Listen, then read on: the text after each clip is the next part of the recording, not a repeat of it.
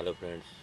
Hello friends. Myself partho hosting for our channel computer technologies.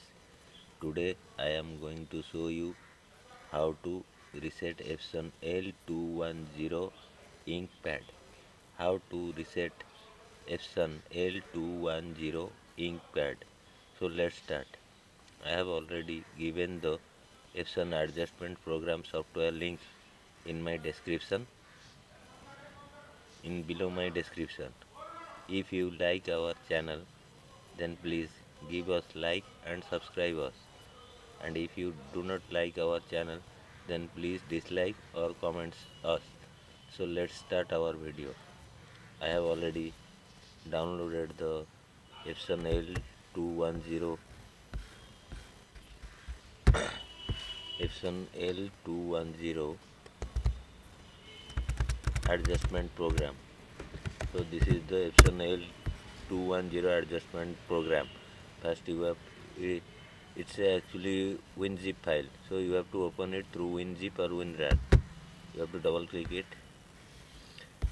and close the internet page then goes to Epson 355 then goes to adjustment program.exe here the password I have also given in my description and the password is epson l355 only then you have to do ok and the file will be the adjustment program will be opened automatically. Now this is the epson adjustment program version 1.0.0 for epson l210 first you have to select the printer particularly from this select box.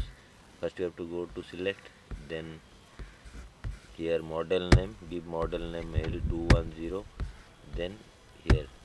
Here I have already installed my driver so it is detecting in USB 008 port.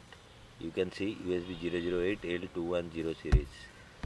And you can OK and particularly you have to go here particularly a particular adjustment mode. In particular adjustment mode you have to go waste ink pad counter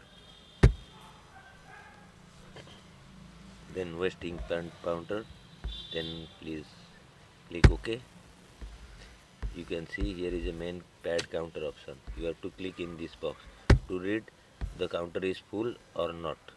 So first we have to tick in the main pad counter and check.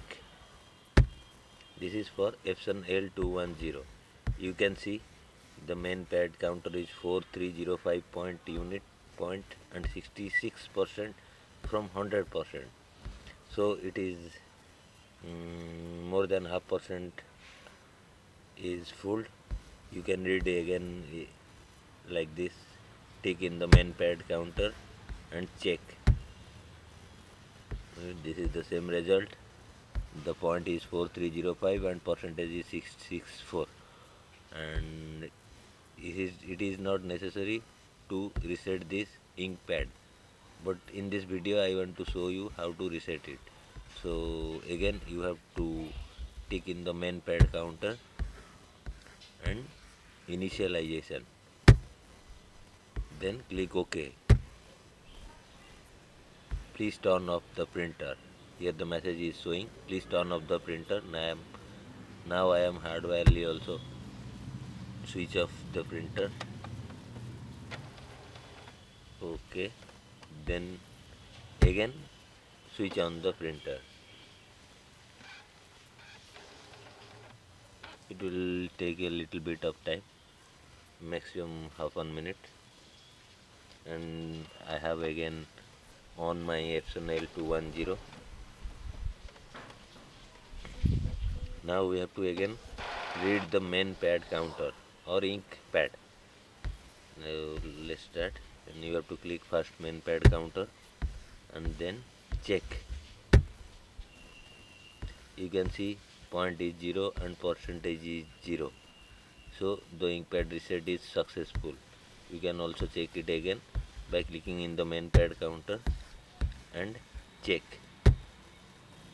You can see this is the same result also. Point is 0 and percentage is also 0 so this is the procedure how to reset ink pad in Epson ink pad adjustment program Thank you, thank you very much.